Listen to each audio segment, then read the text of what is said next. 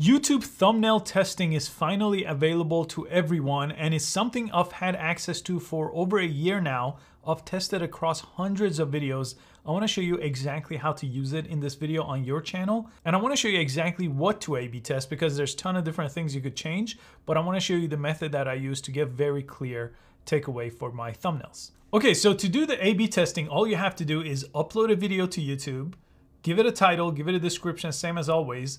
But instead of uploading a thumbnail over here, you should have an option, this third one, it says test and compare. If you click here, it's gonna give you three different boxes and you could choose to use just two or three. If you do three, it's gonna compare three. If you do two, it's gonna compare two. So let me just upload a couple different thumbnails to show you exactly how to do this. So just press the plus sign and I'll just show you what I'm testing in this case. All I'm testing is, here's a pose I have, here's another one, and here's another one, right? So a subtle smile, a bigger smile, and no smile, that's what I'm testing. I wanna have a very clear takeaway on that. I could have tested a million other things, but then my takeaway wouldn't be as clear. So typically with every video, I have one test that I'm running. In this case, it's my pose. The next one that I'm gonna test is I'm gonna take myself out of it altogether and then test that to see, hey, does my face actually help the video or does it hurt the video? Company logo versus no company logo. Yellow banner versus blue banner versus red banner versus green banner. I would test those, but one at a time. So if I was just doing a banner color test, that's all I would test with the same face in every single one. So always change one big variable, but not more than one because then you're not gonna have a clean takeaway. Then the next time you're always improving on your thumbnails. So let me add version one, and I usually name the thumbnail in my file. I save it out of Photoshop, or if you use Canva, put V1 or V2 and V3. So here's one, here is the next one, and here is the third one. So you wanna upload all three like this.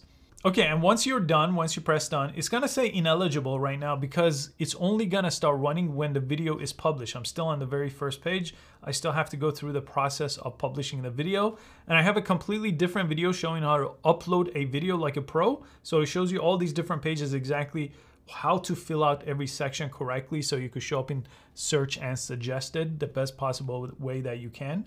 So I'm gonna go ahead and publish this, but let me take you to my next channel to show you the result and to show you exactly how it works. So when you go to your YouTube studio and click on content and look at all your videos, any video that you've ran a thumbnail test on that's complete, it's gonna say thumbnail test finish. You can see that text right there.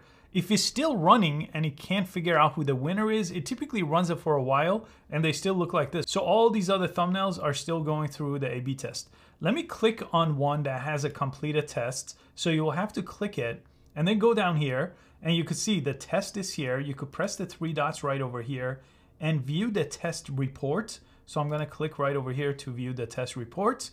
And in this case, it says test finished. It's gonna tell you the range. So this ran for a while, it ran for two weeks. One thumbnail was preferred, but with limited confidence. So when the change is not big enough, it usually will be pretty close in the results. So you got 46% and 53% here. So this one won. And as I'm looking at it, this one just had the text on top and one had the text on the bottom, no face. That's what I was testing on this very specific test. Again, I mix this up all the time.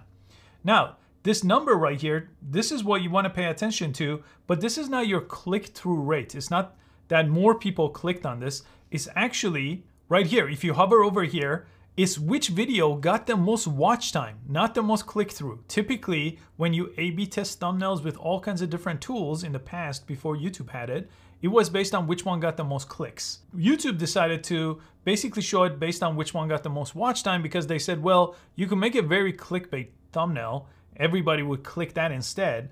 But if it doesn't match the video, then what's the point? So they chose to show it based on watch time. So this is how this number is calculated here, and that's how this one was a winner. You could always press new test, by the way. It's gonna erase the previous, but sometimes I will upload a video, let it run for a few weeks, and then maybe I wanna test something different with a whole different audience, because at that point, it wouldn't be my subscribers watching, maybe it will be in search or suggested, so I may wanna test something entirely different.